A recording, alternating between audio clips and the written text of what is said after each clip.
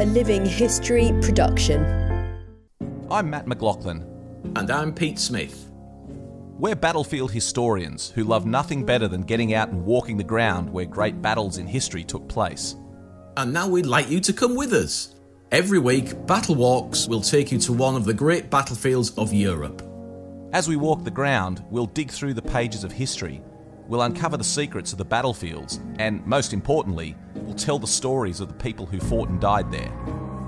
Welcome to Battle Walks. Hello and welcome to another episode of Battle Walks. Thank you so much for tuning in and thank you so much for listening and sending your feedback in. We've seen literally thousands of new listeners come on board in the past month or so, and a lot of you have been sending great feedback to us via Twitter and Facebook. It's fantastic to receive. So, so thank you. Please keep it up. We love hearing from you, and also lots of good suggestions about battle walks we could do in the future, which is also great as well. It's just it's just wonderful to be out here doing these virtual walks and engaging so strongly with people who are listening. And someone who I know enjoys always hearing from our fans is my colleague Pete Smith. Pete, welcome back. Thanks, Mat. Great to be here again. Mate, this week we're back to France. Uh, we we spent a lot of time in France. It's a, it's our favourite destination. I mean, you live there. You, are such a fan of France. You uh, you moved over there, so uh, obviously you're a fan of uh, of the battlefields in France. But it's my favourite place to visit as well, and an interesting one today. Again, not necessarily a frontline battlefield destination that everyone would visit on a coach or a, or a car tour, uh, but a really interesting one. We're in the uh, the town of Bapaume. Tell us all about it. Well, Bapaume, oh, it's a another another one of those difficult names to say, and certainly with my uh, northeastern uh, uh, English accent, very, very odd to say, so just have to bear with me. Bapaume, I tend to call it.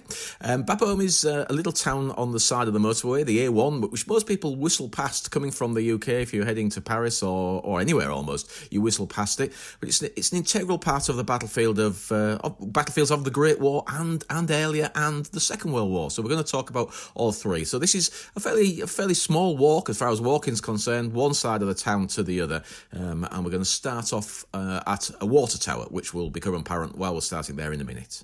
It's an interesting place, Bapaume, because it's integral in the fighting of 1916, as you said, the in the Somme fighting, and we'll talk a little bit about that in more detail. But uh, also, a very strong Australian connection, which as, a, as an Aussie, I always like seeing when the Aussies came here in 1917. I think we can't over overstate how important and objective Bapaume was, particularly in 1916. That it was it was iconic for the Allied troops, wasn't it? As this the destination, the place they just wanted to get to. It was behind the German lines, and it was it was really just their their ultimate destination, wasn't it? It was indeed, and it was fairly visible from the, the ridges as we started to take the ridges, especially uh, when we took the village of uh, Australians taking that village. You could then see to the, the town itself, and that was the objective. The objective of the Battle of the Somme from in 1916 was to take uh, the, the town. Uh, not taken, um, and eventually will be occupied with fighting, but occupied as the Germans fall back to the Hindenburg line. So a very important. Uh, uh, place to, to, to, eventually take. I suppose one of the reasons in this area, in, in the Somme region, in fact, it's actually not in the Somme; it's in the Pas de Calais. It's just over the, the border. But it was uh, it was the largest town and the, and one of the most destroyed towns of the Great War. V- terribly, terribly destroyed to the extent there was very little uh, left of it. And so that's one of the great things. What we're going to do is talk about what was left and some of the memorials that commemorate what uh, what was going on both uh, in earlier years and also during the Great War. Pete, give us an overview of the town and its history because it is one of those places in France that is just effectively soaked in blood. The amount of fighting that's gone on there over the over the centuries is just quite remarkable. Give us the background of Bapaume and its role in, in several wars. Yeah, I, I think the most important thing is of where it is. So right the way from it when it became a settlement, when people started living here, it's on a junction between uh, the very, very flat Flanders plains, um, and then there's this ridge, the ridges of the Artois uh, region, and then we get into the, the Somme and Picardy. So, if you were traveling down through uh, Europe uh, from uh, Northern Europe, so from Holland, let's say, then you would almost certainly come on the roads uh, that would take you uh, through uh, Bapaume. So, it became an important uh, city for, for trade because people paid tolls, they kept the roads going, um, and, and also uh, it was a place to uh, harbour up for the for the evening because of bandits. There were bandits in the woods all around here, and so again, it was a place where you ha- you had some shelter if you could get in before the town gates were shut.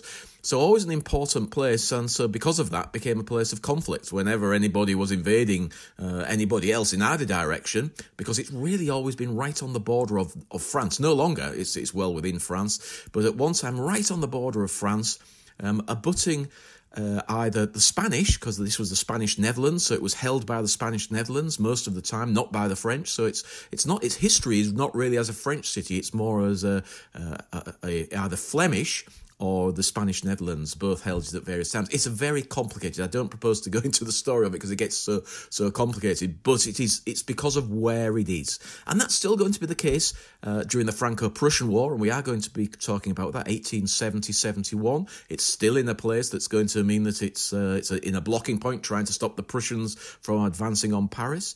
Um, and also in the First World War, again, stopping, trying to stop the Germans here and uh, uh, advancing on Paris yet again. So always the war, always or wars always crossed over this area. So so you're absolutely right. It's a place that has a very bloody history, to be truthful. Well, let's talk about the First World War because it changed hands several times. It was iconic for both sides during the conflict. Talk to us about the role of Bapaume during the First World War. Well, Bapaume was really the the town that the Germans occupied, and it became their central town of operations, very close to where they're going to. The line will, will stabilise on the Somme ridges and just uh, on the far side of the Somme ridges towards the, the town of Albert. And Albert will become our front line. So the, the Empire forces, when we took over from the French, Albert is our front line. So these are two two towns, they're not really cities, two towns facing each other, tucked into uh, to the, the valleys and the ridges of the Somme, this rippling landscape, um, and the French, uh, uh, sorry, the, the Germans are going to be controlling the front line from Bapaume, and we are going to be doing the same thing from Albert. So it was a significant and important town just for the fact that this is where everything f- uh, came through. It came through uh, Bapaume into the front line, feeding into the front line from the town itself. And let's talk about the Battle of the Somme. We can't discuss Bapaume in any context during the First World War without talking about its huge significance during the Battle of the Somme. Tell us about that in 1916. Well, in 1916, on the 1st of July, this is what they're aiming to take. This is the objective, is to uh, to clear the ridges and then get to uh, to Bapaume, and, and preferably on we go, and rolling up the line. Of course, we do know the Hindenburg line is behind it, so it's not going to be that easy. But what we're hoping to do is to take Bapaume. And from the 1st of July until uh, November, mid-November, that is where we're trying to get to. And in fact, as the weather changes, then the Battle of the Somme slowly grinds to a halt and finishes. And it finishes around my village because we don't get to Bapaume, so we can still see it on the ridge uh, in the in the distance. Um, and it's not until that spring of 1917 when the Germans realise they're not in a perfect condition. The, the, there's a bulge in the line. It's going to take more men to hold it, and this is not where they intended to fight and they've got a perfectly well uh, uh, organised, dug in position that they've been creating as a fallback position, the Hindenburg line. And so, what they're going to do is fall back to the Hindenburg line and give up Bapaume. Um, and in fact, in doing so, they will plant a lot of booby traps. Uh, they're going to poison the wells, cut the trees down. So, they had a scorched earth policy as they as they fell back. And uh, what will become apparent uh, during this podcast is that that will cause certainly the Australian soldiers and others who move into the area as as they're falling back. Uh, it will cause them a problem. And 1918, eventually the uh, the town obviously changed hands when the Germans um, launched their spring offensive, and then changed hands again when the New Zealanders came back. So the complicated history of Bapaume continues. It, it does, and, and it has this Antipodean feel to it because taken by the Australians in 1917 and retaken in 1918, eventually when the, when we forced the Germans back for that final time by the New Zealand division.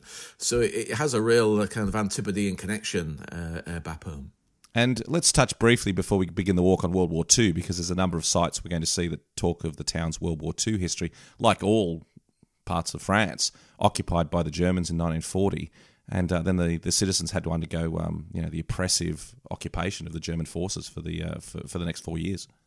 They did indeed, and and this is uh, one of the areas of total control. You, you, you, France wasn't just occupied by the Germans. There was Vichy uh, France, which is not going to be occupied for, by the Germans for uh, uh for a large proportion of the war, um, and then we have uh, occupied areas, and this is an area that is under heavy occupation. It's known as the, the zone of total control because it's it's close to getting close to, to Germany itself, but it's more the fact that from this area, all, all, the foodstuffs and everything that is produced here, the bulk of it will go to Germany.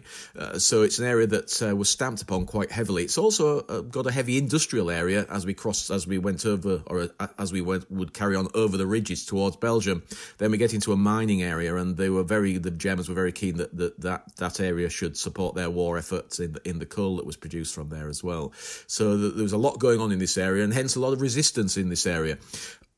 Uh, uh, more than some areas because of the uh, the, the people here, there's a, quite a quite a, um, a, a socialist, very heavy, strong socialist area, and in fact, communism was fairly rife here in some of the mines, uh, and they managed to get themselves organised a lot quicker than others, with help from Britain. Uh, British uh, spies were dropped in here, and we're going to talk about those a little later.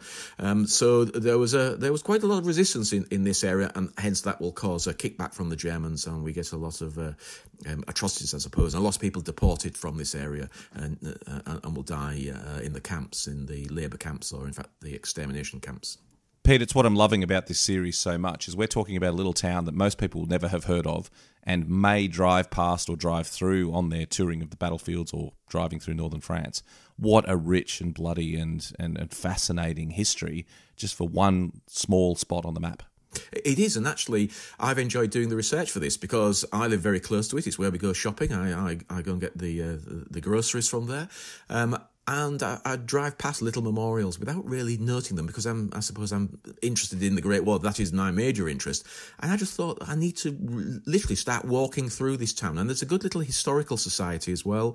Um, and I was uh, invited along with others uh, about uh, six months ago to spend some time with them. And that was fascinating. Even though my French isn't good, I was able to uh, to really understand a lot of what was going on. And, and the layers of history in the town and the things that are still there, hidden away, extraordinary. And we're going to be talking talking about them as the as as we as we go into the podcast. Well, I'm excited. Let's get on with it. Let's uh, let's begin the walk at the aforementioned water tank. Why why are we starting here? Well, no reason other than it's very visual. It's something, if you're trawling through photographs of the Great War, you may come across it. And so some of you may have uh, be aware of it. It's just quite an uh, uh, interesting photo because it's so unusual. It's an enormous great cylinder, big steel cylinder, lying on its side that was uh, a water tank for the town. So it held the water that increased the pressure. The French like very high water pressure. That's what it's all about. Um, so this enormous water tank lying on its side, bullet riddled, but still kind of fairly, fairly solid. And there's a picture of a ladder going up to it on the end of it, and there's a couple of Australian soldiers climbing up the ladder and dropping into the tank to get some shelter from the rain. This is the the, win- the winter of 1617, as the Germans have just, only just uh, fallen back. And I just think it's a great image and it's one that always sticks in my mind and i remember several years ago i was asked by an australian just in a casual uh, conversation pete was it still there and i had to say i wasn't sure was it in a wood was it lying there still and so i went up to to have a look and there's a brand new water tank or a water tank from the uh, from the 1950s uh, there concrete, no sign of the steel one, so it doesn't exist any longer. Uh, but it was worthwhile just having a look, and it's just such an, an interesting point to start off with. Uh, very visual if you've got a copy of that photograph of the water tank. Well, beginning there, where are we going to walk to next? Yeah, well, that's on the Peronne Road leading to Peronne. Um, so we're going to walk in the, in the opposite direction towards Bapaume. And we're going to, uh, the first thing we're going to see is, now I've described it uh, as this because I've known what it is, but not the story, The Dying Mayor. It's a very unusual memorial. It's a bronze by the side of the road, and it's a man lying down, just propped up on, on, on one elbow uh, and looking up uh, appealingly, I suppose. Um, and it's just known as The Dying Mayor. Well, I've I've been researching this now for a, a few weeks, and it's absolutely fascinating. And the, the, chap is is the mayor, or he was the mayor, a chap called Abel Guidet, and um, he was the mayor before the, the Second World War and, in fact, was involved in, in the resistance. And the, the town hall was a, a, hotbed of resistance in the sense that they produced documentation, forged documentation, to get down airmen out of the area. They were passing through this area, some coming from Belgium, some coming further afield, and then normally heading towards Paris and then onwards to Spain to get over the border into neutral, neutral Spain. So they were producing forged documents uh, in the town hall. It was a, a, little occupation, and the, the mayor, he was, uh, he was the major instigator. Um, he was also involved in uh, ensuring as many of the local young men were not taken by the Germans as uh, uh, slave labour. Effectively, they were conscripted into uh, into an organisation that then moved them to uh, to Germany to work in the factories in in, in Germany. So he was also uh, providing forged documents to try and get them away from the area as well, so they wouldn't be rounded up. Uh, so very important guy in a in a network, but sadly will be given up uh, uh, eventually by another young Frenchman who was captured on his way to Spain himself. They were trying to get him out because he was a bit hot headed and he'd actually uh, shot a German policeman uh, when he didn't need to. And actually the mayor saved his life because the resistance wanted him out the way and they wanted to, to kill him. They felt he was causing such a problem for them. The Germans were looking everywhere that it would be easier just to shoot him themselves um, and uh, and then explain to the Germans that that that's not exactly apologising, but get him out the way so he, he was no longer a problem.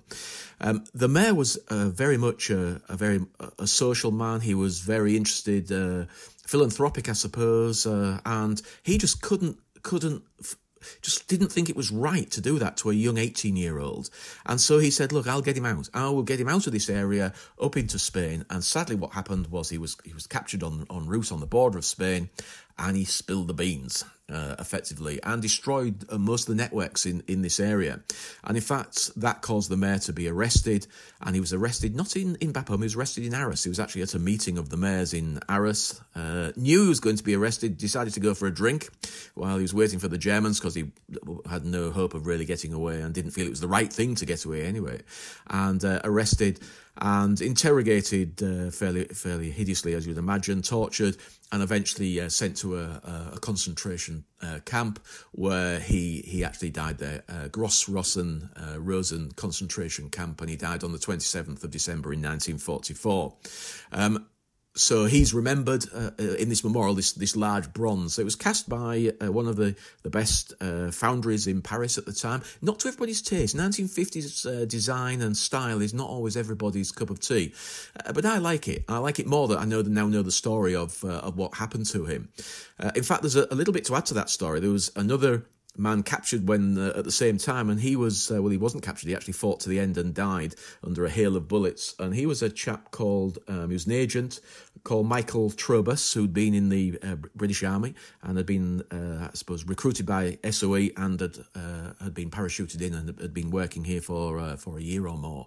and he was also caught in this in this roundup, and he was a big loss to the resistance network in this area. There's a very good book about him. Um, so yeah, remember his name, Michael Trotobas.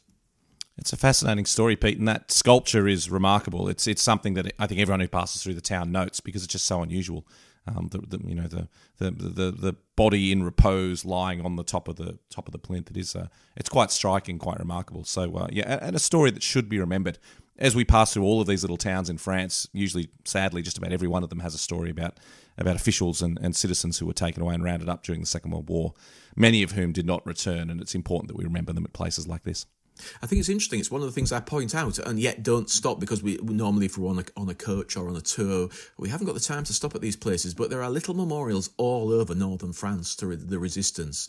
Um, normally, little plaques at the side of the road, little crosses. Um, uh, sometimes it's the cross of Lorraine, which is a, a, like a Christian cross, but with a double uh, double uh, cross on it, and it's um, yeah nearly always to the resistance. And uh, I try and stop if I'm if I'm by myself and go and have a read, take a photograph of it, and add it to to my archive. But but never really have the time to research the story. And there are some truly remarkable uh, and and horrible, horrific stories uh, of of the the occupation of this country during the Second World War. Where are we heading to next on the walk, Pete? Well, only 100 metres uh, away and to the right. So we're just going up a little road, a little lane. It's a dead end and it leads to the Bapaume Australian uh, Cemetery. And that's what it's called, the Bapaume Australian Cemetery. It's a Commonwealth War Grave Cemetery. And there's a clue in the name. Of course, this uh, cemetery was created uh, at the time of the Australians uh, taking over the town, forcing the Germans out as they fall back to the Hindenburg Line. And uh, an Australian casualty clearing station was set up in the ruins of the town. And the third Australian casualty clearing station. And so these initially are men that died in the fighting around the town and those some of those that were that, that, were gathered up uh, and buried here. It also contains 23 Germans because the Germans, when they retook the town uh, in 1918, they found the cemetery and they thought, well, that's handy, we'll use it. Uh, it's, it's, very common during the First World War for both sides to be using the same cemetery. I think I've mentioned it before in the podcast. So uh, uh, here is a prime example. We have uh, a, number of, of uh, Australians and then the Germans alongside them.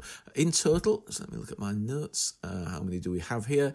We have 107 named casualties buried in the cemetery. So very small. It's a very small and rather attractive, I have to say, surrounded by market gardens around it and a little bit of an industrial complex and houses. So it's in amongst uh, all sorts of things going on on the outskirts of the uh, of the town. Well, it's probably good timing, Pete, to talk about the Australians coming to Bapaume and the, the reasons they got here. And it's an interesting chapter of the First World War for, for Australian for Australian historians, for people who, who are interested in the Australians. Not a chapter that gets a lot of coverage, but but is surprisingly well known in the names of towns and parks and areas around Australia because this is the area this is the time of the advance to the Hindenburg Line, we call it. The Germans were falling back. So, as you said, after the Battle of the Somme, the Germans then retreated to their fortified positions they, they'd constructed called the Hindenburg Line.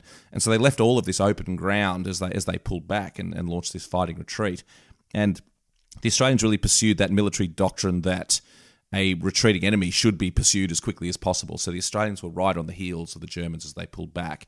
And what it meant was, as the Germans pulled back through towns and villages they'd occupied and staged this fighting retreat, there was a lot of small actions in a number of small towns uh, leading up to Bapaume. And we remember those towns, as I just touched on, in, in parks and villages and streets all over Australia. You'll see these names pop up, names like Noreuil and Lagnicourt and Morcourt and many, many little uh, little towns that uh, that that that sort of became etched in history because of these actions. And then, of course, throughout March 1917, as the Australians pursued the Germans as they retreated to the Hindenburg Line, eventually they came to the town of Bapaume, which has been iconic in 1916. Such an iconic objective that the Australians were extremely excited to get there. And in fact, uh, some of the notes I read was that two of the Australians actually had a foot race to see who could be the first man into the town.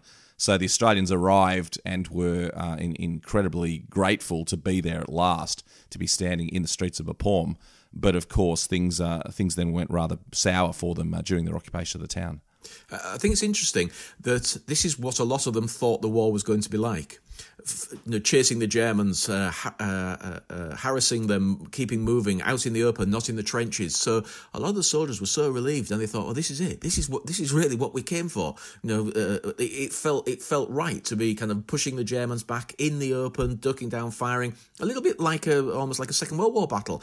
And you get it over and over again in the diaries. Thank God this has come. You know, it's uh, it's now it's our time, and we're forcing the Germans back. Of course, very sadly, it's not going to last for very long, but it's certainly in the diaries of the soldiers who were fighting here, this is to them, having just spent the horrible winter of 1617, stuck in trenches, coldest winter for 40 years, to be to be the weather changing, it's actually starting to warm up, and, and to be able to move in the open and uh, and and actually feel that they were winning. Because there wasn't you have to say there wasn't a massive feel that the Germans were falling back. It was more that the Australians were pushing them back, and that's what they wanted. They wanted to keep in touch so that they, they felt that they were actually forcing them back, and they were. I mean, the Germans were do lose uh, considerable numbers of men, and they are harried and, and forced back to the Hindenburg uh, until again we get to the outskirts of Bullecourt, where it all it all changes.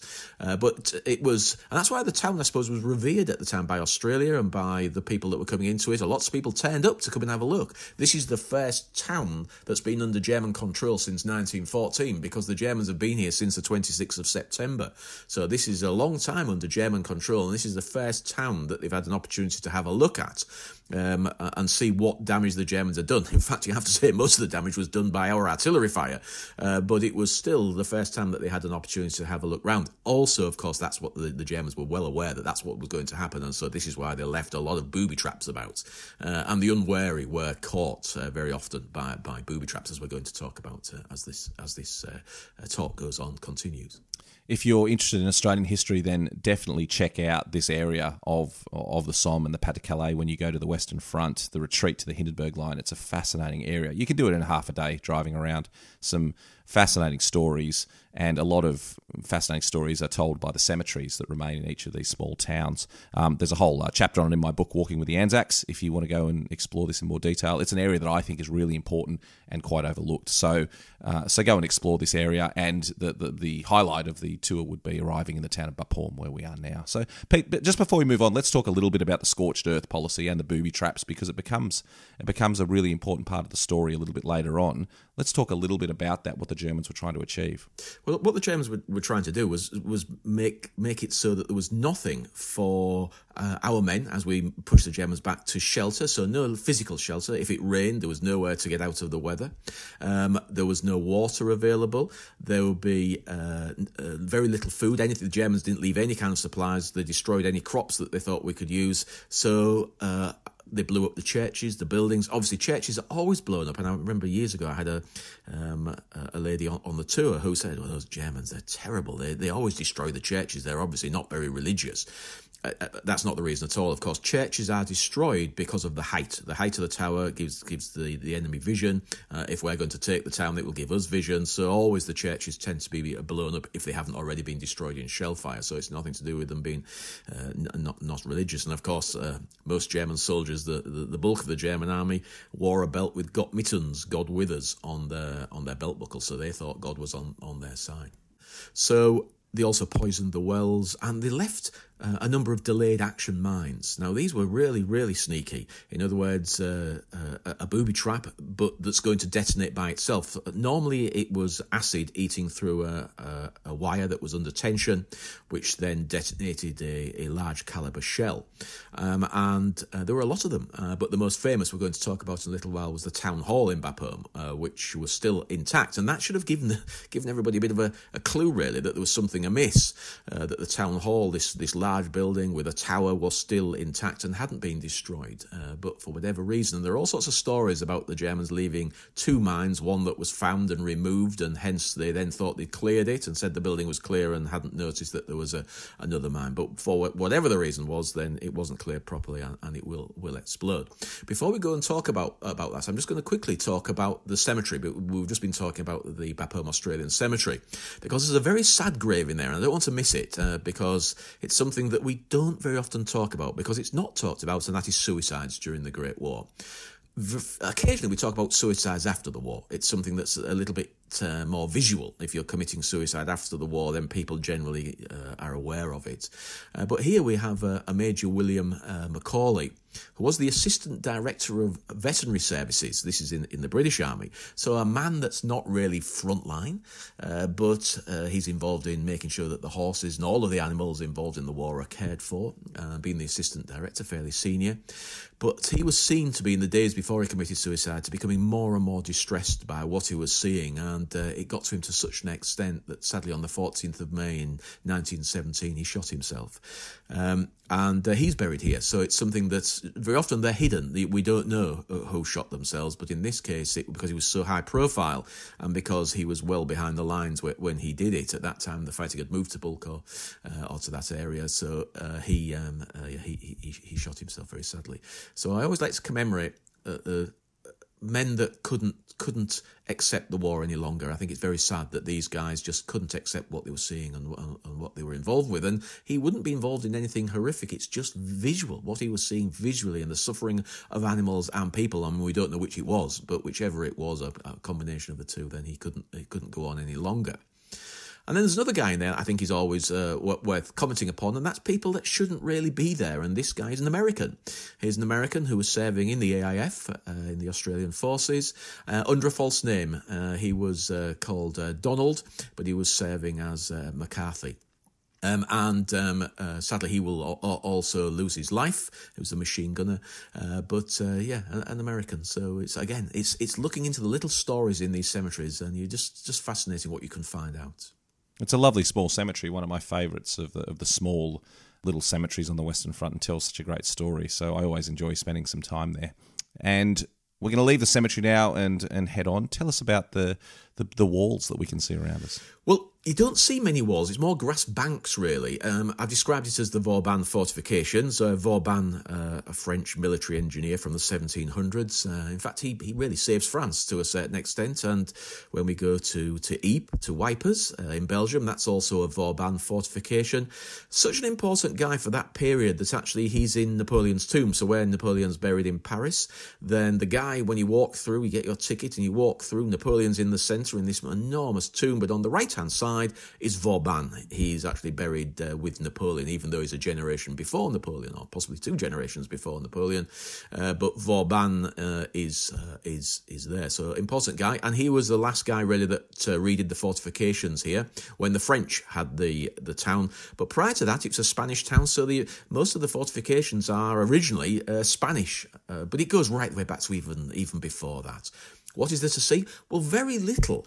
There's a very good reason for that. In the 1830s, the French wanted to test defences to modern weaponry. In other words, modern explosive devices, modern uh, with demolition, and they demolished them in an exercise uh, testing the French army and its ability to demolish defences. So there's very little to actually see in, in Bapaume on the surface.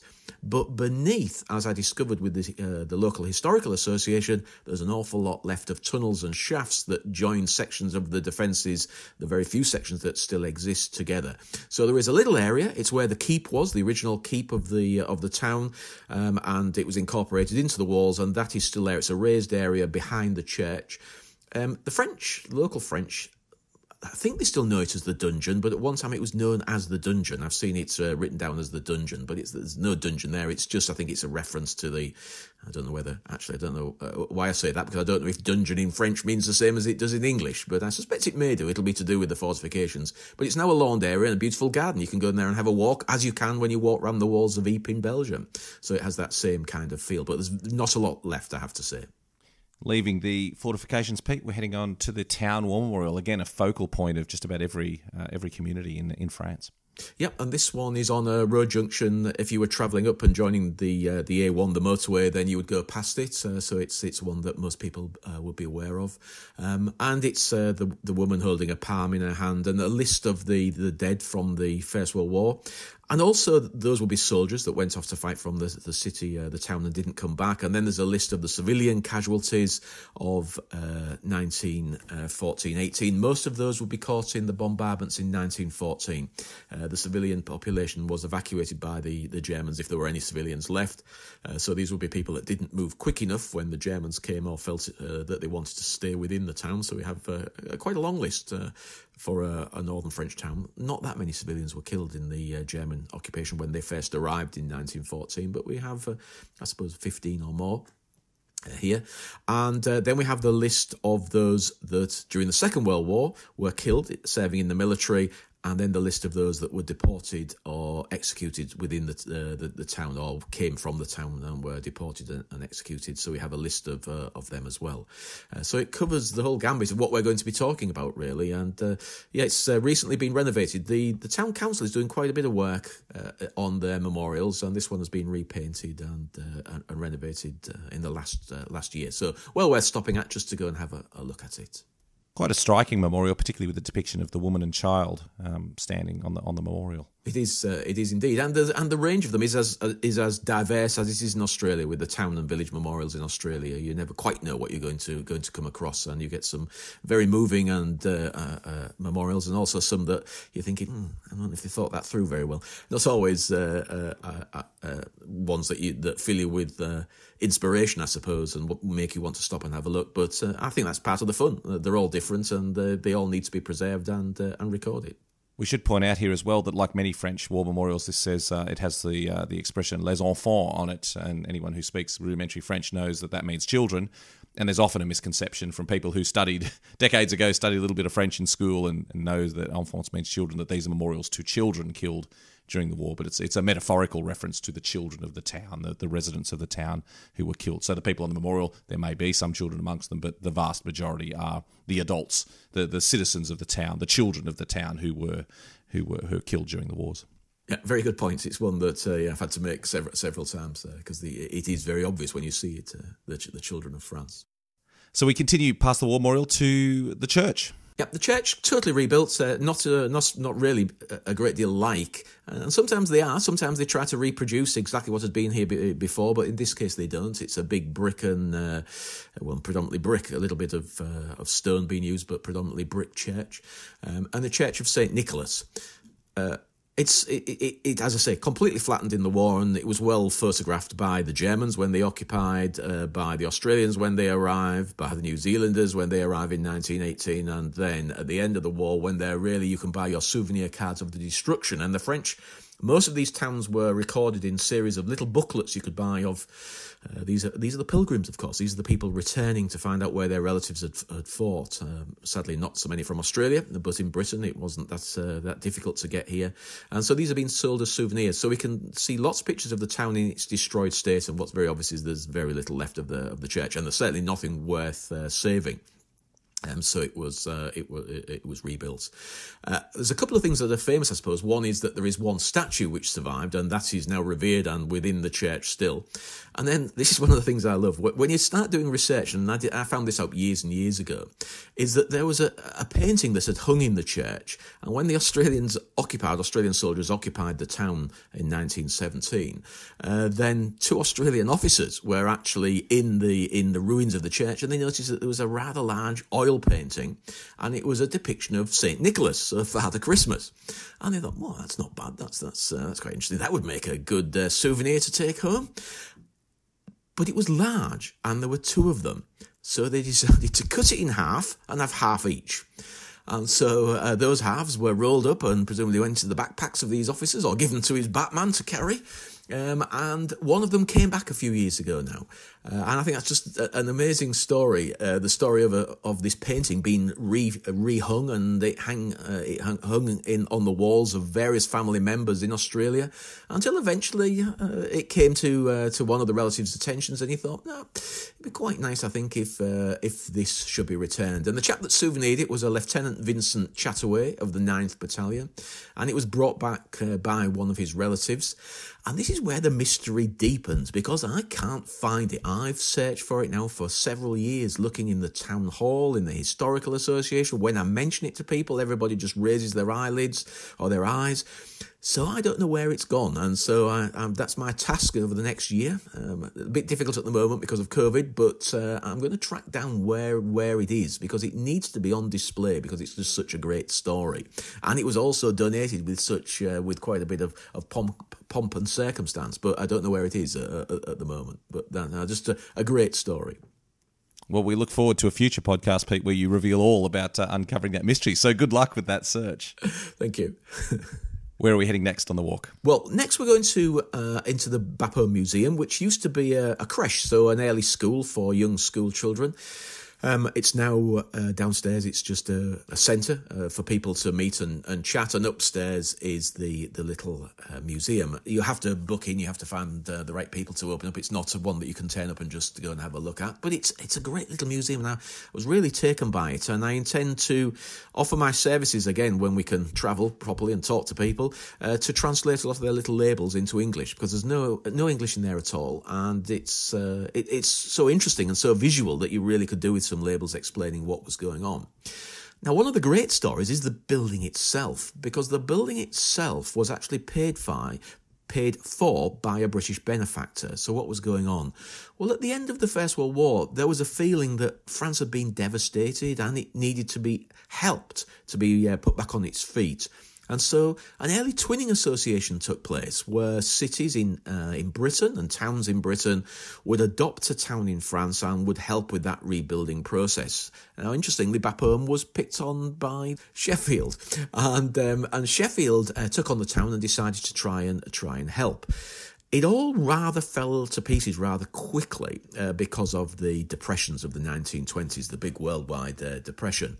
So it meant that there wasn't really a great deal of money that we could send across to France to help in the rebuilding of France because we could hardly keep keep ourselves going. So it didn't work to the extent that it was hoped. But Sheffield donated a knife, fork, and spoon in a little case to every child in Bapaume, because, of course, Sheffield is famous for its steel manufacturing of, of cutlery and, and weaponry. For years, it, it produced Britain's swords and bayonets. So um, it was donated. But there's another little connection which I, I just found this uh, uh, extraordinary, is that one of the uh, of the, the great and good of uh, of Sheffield, a very, great man, very called George Lawrence, in the sense that he was very philanthropic. He had uh, paid for a stand in the football club. He had paid for the creation of the Boy Scouts. There's just there's a whole list of things. There's a very uh, little, very good little book about him. He created a, a whole list of philanthropic works within his own city but also heard about Bapaume and decided that he wanted to do something for the town itself because of that uh, that connection. And so he built a series of houses for women who had lost their husbands to to move into and were finding things difficult. And he also paid for this school, uh, this uh, fair school for uh, this creche for the, the children of the town. Um, so that's a, a, a, beautiful story in its own right and an interesting story. Uh, um, but the sad aspect is it, he was killed in the Second World War in a bombing raid on, on his own town of Sheffield. And that's a very sad story because he lived outside of the town. He knew that the bombers were going over and bombing the town. And so he decided to take some supplies to his workers. He felt that they would be scared. So he, he loaded up with a couple of bottles of whiskey with the idea that that would uh, fortify them a bit and some sandwiches and things and headed off into the town and just got to his works when the works took a direct hit and he, he was uh, he was killed. So he lost his life uh, in the in the Second World War. So it's a it's a lovely little story and uh, told very well uh, in the in the museum about him, George Lawrence. Just a wonderful story, Pete. Not one I was aware of, and again, so easy to overlook. It's why it's important that we do these walks through the town and, and stop and talk to the local people and, and, and hear these uh, these these fascinating little connections with uh, with history. And there's another little story that, that is relevant again to my previous story because within this little museum there is another painting and this is held there and this is uh, uh, another painting that was returned uh, by a family because their relative again had souvenired it in the town and in this case he'd souvenired it from uh, a house Lieutenant Hector Brewer of the 54th Battalion. And this one wasn't cut in half, it was just a complete one. It was reframed and, and brought back and placed within the um, uh, within the mu- museum. Uh, so that's a, lovely little story. I'm just going to read you what it actually says. So it says, uh, with, underneath the picture, and this is in English because it was framed uh, in Australia. This picture was retrieved from a house in Bapaume in 1917, which was severely damaged by German shelling. It was souvenired by Lieutenant Hector Brewer, an original Anzac of the 2nd Battalion, who at the time serving as the signals officer of the 54th Battalion. The picture remained in Australia in, in his Australian family home for the past 90 years before being returned to its original home in 2007, presented to the people of Bapaume by Mr. Barry Brewer, nephew of Lieutenant Hector Brewer. So that, that's a story. I think that's another great little story of, a, of the return of something back to where it was souvenired from just makes you wonder what extraordinary things are still hanging over mantelpieces in houses across Australia and indeed Britain. And you can understand why, when the Australians arrived in this town, it was absolutely devastated. Just about every building was destroyed. And if you went into the ruins of a house and found something of value, like a painting or a piece of furniture or something still in okay condition, it was it almost made more sense to take it than to leave it there and, and, and risk it being damaged again. But obviously, in hindsight, there was quite a bit of pilfering that took place across. I know Ypres as well uh, suffered pretty heavily from the uh, from the sticky fingered Australians, and in the uh, in the storage of the Australian War Memorial where I've been, there's a lot of artefacts that the Australians helped themselves to from the ruins of the town of Ypres as well. Well, as a, as a, a collector of uh, Great War memorabilia, I have to say that at the top of my stairs, I have a clock face uh, from a church uh, just outside of Ypres that was souvenired by an officer and for many years was in the regimental museum. And when the museum closed, it actually went into a skip. And uh, via a contact of mine, uh, I recovered it, and it's now on the on my wall here. So so I have a, a lump of uh, of a church here.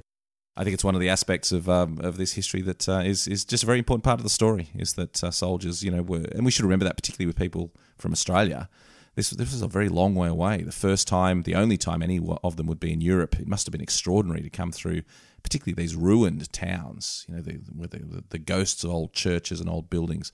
It must have been just an extraordinarily emotional experience for them, and um, it's little wonder that they wanted to take part of that home with them. Uh, uh, absolutely right. I uh, you can't imagine, can you? Because a lot of these these guys would have grown up with the stories of the old country, the uh, grown up with the stories of the history, and to find yourself wading through the ruins of that history must have been I suppose, distressing to some of them to see all of the all of that destruction of these beautiful Flemish buildings that uh, Bapaume was uh, consisted of, and then to find that the belongings from and the and the people's things from a lot of these houses were just blown all over the streets. Uh, so yeah, so extraordinary. And I have to say, if, if I'd have been there, then uh, a couple of things would have probably gone into my pocket as souvenirs very often it is religious artifacts because a soldier who picks up a religious, a bit of a rosary or something, or a bit of a church, and a little.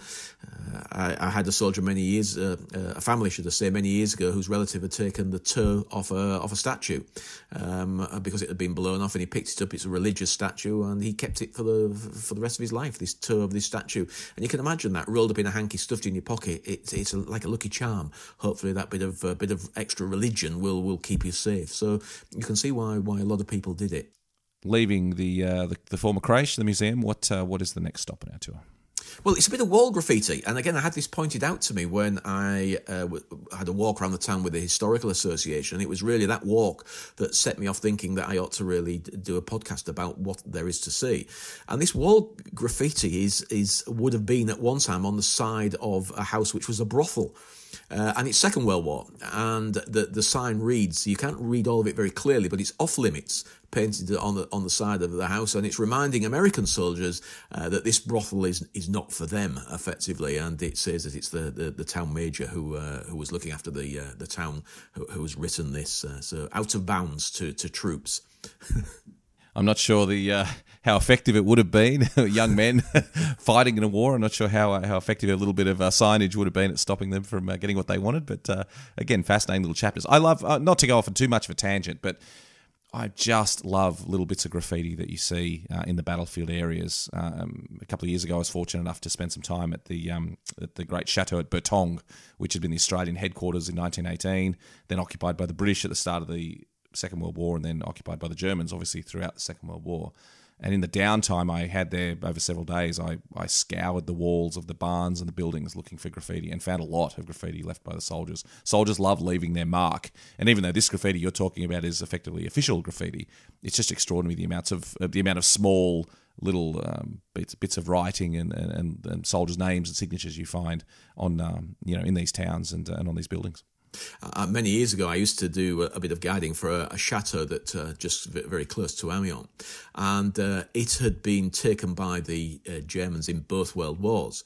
And beside the fireplace in the main room, they'd left it. They'd left the graffiti, and the graffiti no- noted a German regiment uh, in 1914 uh, had graffitied there, and a German regiment in 1940 had graffitied underneath it. So it's just extraordinary to have from both world wars graffiti on the wall.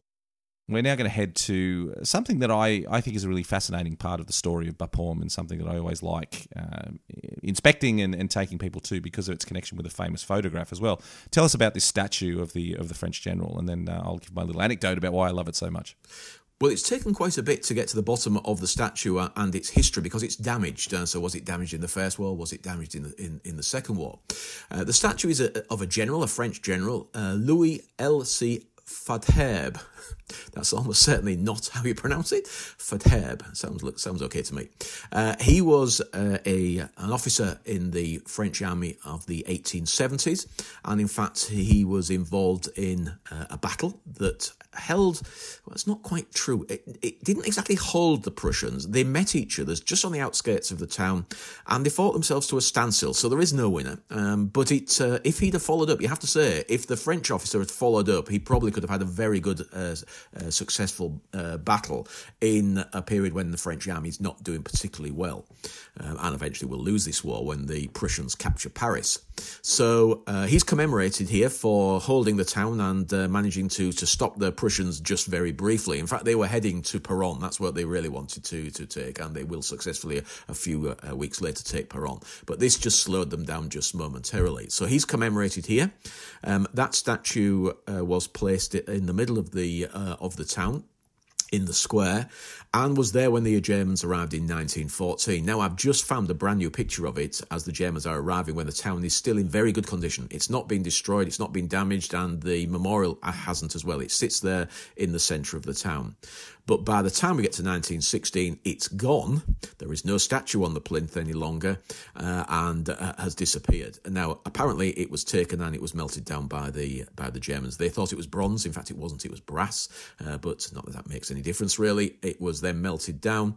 Uh, and so at the end of the war, the town's gone around it, but the plinth is still there. And uh, uh, the in the 1930s, it was decided that it uh, it should be uh, rebuilt, and it was uh, it was put back on. So it's put back on uh, exactly the same, cast exactly the same, and that's always been my, my trouble. I've always looked at it and thought, was it hidden? Has it been put back on there, or is it a recast? But uh, apparently, uh, it's it's been recast. So it's a recast of the original and put back up.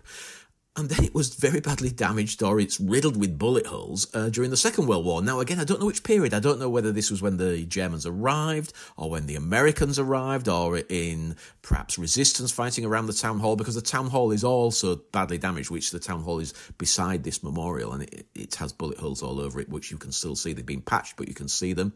Um, and so the poor old general there, you can drive round him looking at him and you can see uh, right through him in several locations where bullets and fragments of shrapnel have, have gone right through him. So he still sits on top of his uh, his plinth there, um, and it, it's just a great connection with three wars: the uh, the Franco-Prussian War, the First World War, and the Second World War.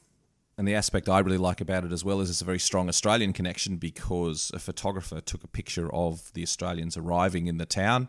Uh, and and outside the town hall, and in the foreground of that photo in 1917, this is before the town hall blew up with the mine that we're about to talk about.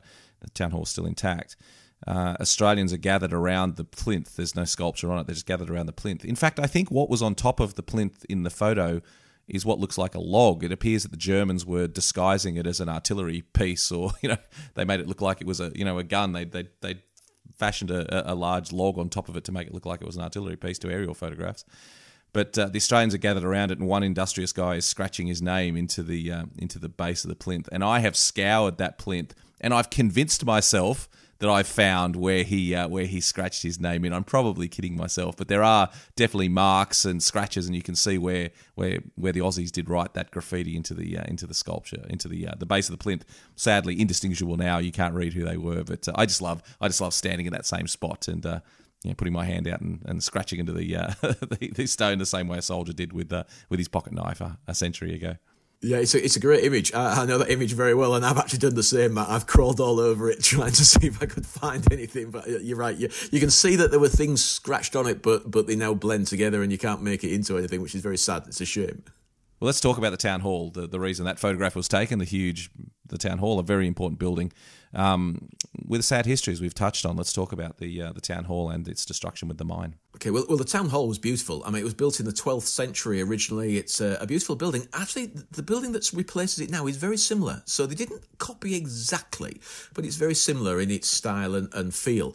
But uh, on the 25th of March in 1917, then it's going to uh, detonate. It's about three in the morning and uh, it's going to going to catch a lot of soldiers unaware who had been sheltering beneath it because it had a series of uh, of walk a walkway beneath the uh, the building itself, uh, um, and so men were sheltered there. There was actually a canteen had been set up, so a canteen soldiers could get a, a hot cup of tea there, and oddly, uh, not planned, of course. It was 10 days after the Germans had left, um, and that was what they set it up for, but they didn't know who was going to be there. They hoped that some of the, uh, I suppose, they wouldn't even know it was going to be Australians that would take the town, but um, they were hoping that people, senior command, would move into the town hall so it would catch catch the senior command.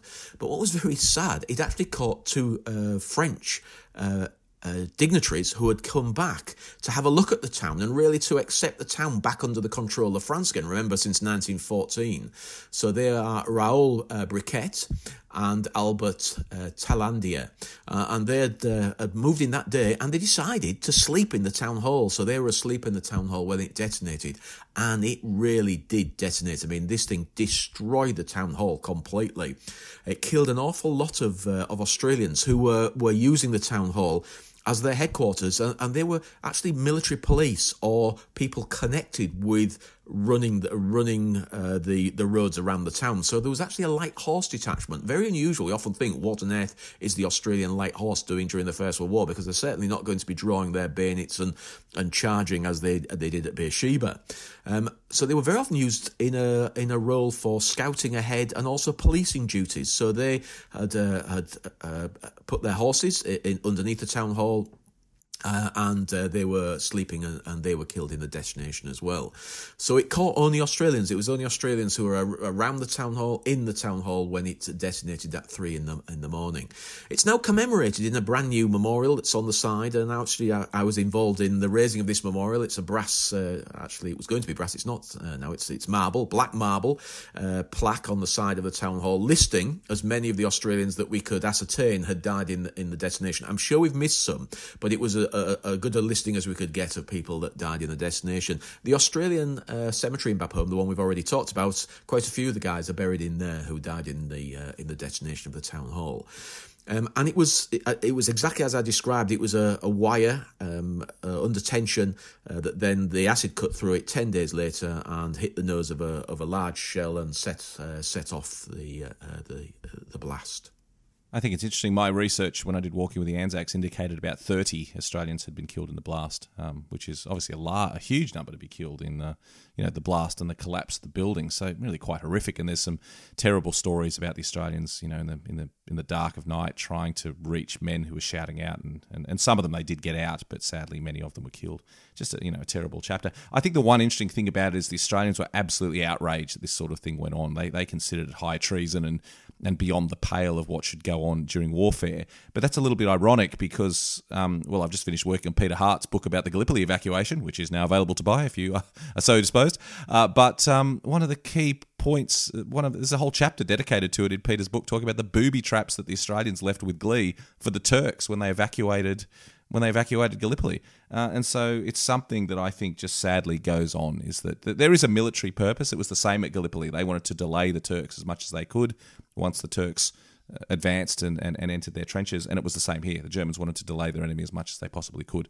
But I must say that a mine going off 10 days after the, the evacuation is probably, uh, is, is probably pushing the boundaries a little bit of what can be considered fair play during war. Yes, I, I, I, agree, and it, it, it's something that went on uh, and has gone on uh, in warfare almost from, from day one. If you can catch your enemy, and here I think the, the the key here was that they weren't just trying to get the odd soldier; uh, they hoped that the high command, that the commanders, that senior officers would move into a building that looked like it would suit them uh, because it was fairly intact and it, uh, had a high tower that, that was still there, uh, partly there.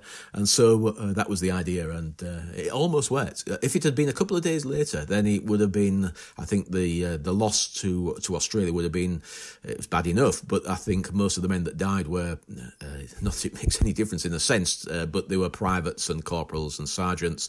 there were, I don't think there are any or very few officers.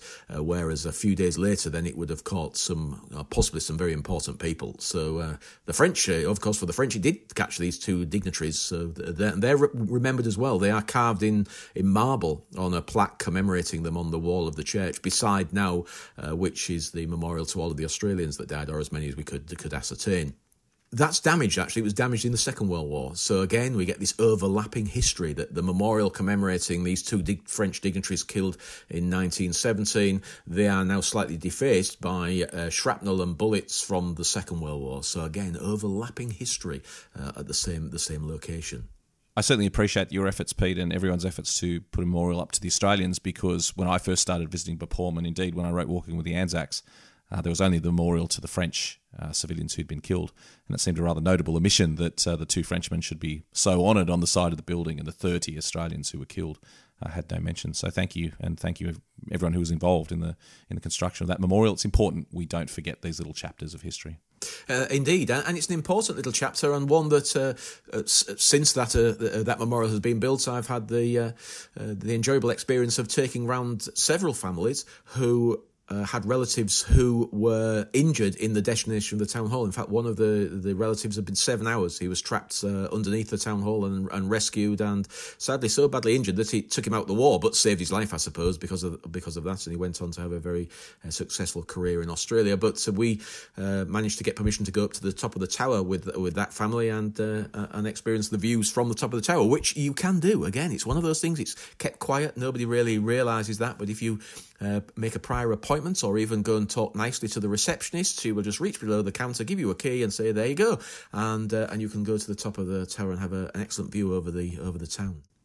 Well, a very important town, uh, as, as we said before, and, and a name, Bapaume, an unusual name, and you'll note it in the names of streets and parks across Australia because it meant so much. And it was instances like the the the destruction of the town hall that that etched it permanently into the minds of the, the servicemen who'd been there. So, again, a very important uh, chapter of the story. One last stop before we finish our walk around the town of Bapaume is the communal cemetery. It is. So we're carrying on through the town, right through the, the centre of the town, out the other side. Uh, just to point out, there's quite a few nice little bars in the town when we can go to bars again.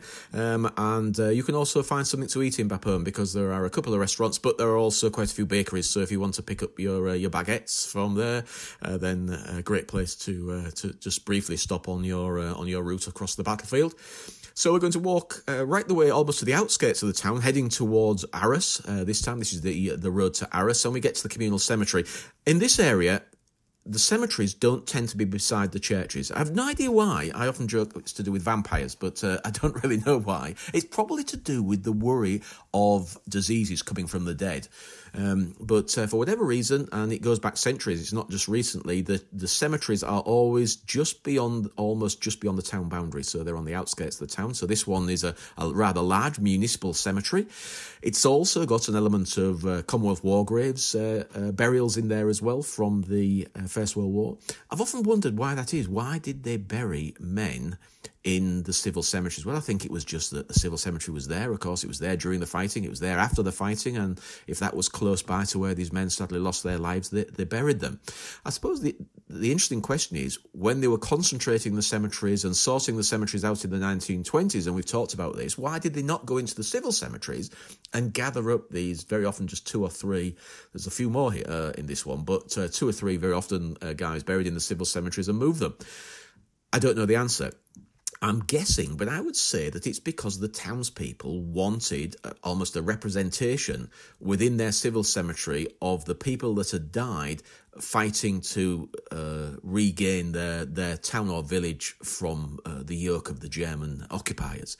So uh, I think that's possibly the reason. It was just felt the right thing to do uh, to leave uh, to leave some representative uh, graves uh, within the civil cemeteries. But I'm, I'm not sure. Uh, we'll never really know. There's no nothing written down uh, why it should be.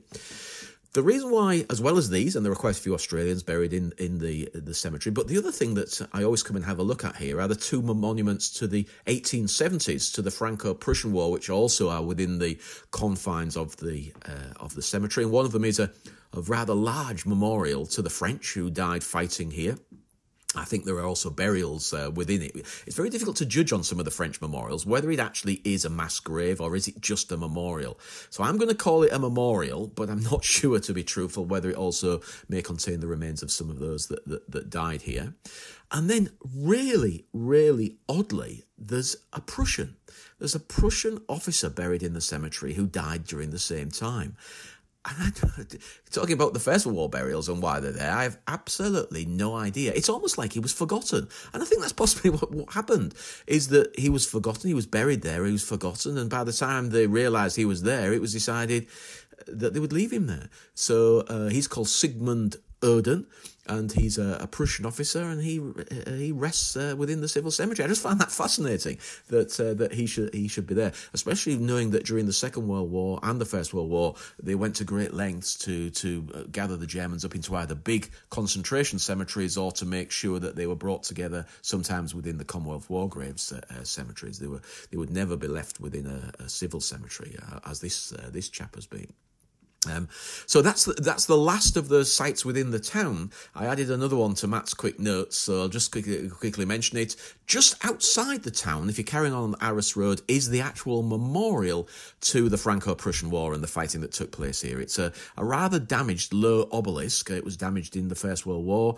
Um, again, it's just recently been renovated, uh, but it's just on the road, just outside of the town boundary. So if we if we were remaining within the boundary for the podcast, then it's outside. But but it's well worth looking at because if you go going that way towards Arras, then you're going to drive past it, and that is the memorial to the actual fighting uh, that took place in uh, during the Franco-Prussian War. Well, Pete, thank you so much for that. Just uh, again, the layers of history. I mean, we've explored so much in a walk around a little town. It just makes you wonder any town in this area would have the same depth of, of, of information and, and, intriguing history. So, just a really interesting one. Thank you. I've really enjoyed it, and I'm looking forward to more of these explorations of, of, of smaller towns as, as we go on with the series. Good. Well, I've enjoyed uh, talking about it because I think I think you're absolutely right. These little towns they need a, they need us to, to stop if we've got the time to stop and, and do a bit more exploring. But you need somebody to kind of point you in the direction. So hopefully that's helped a few people who will uh, in the future pass through here. Well, give us your feedback if you enjoy these uh, these walks through these smaller towns. Let us know. Um, let us know what other areas of the battlefields you'd like us to cover because the list is uh, just about inexhaustible of places we can cover. We're really looking forward to doing some exciting ones in the future. Pete, it's been a, pleasure as always. Thank you so much for your insight and your um, your your humanity on these walks as well. It's it's it's really touching. I love hearing what you've got to say about these towns. No, it, it's great, Mat. Enjoying them. Looking forward to the next one.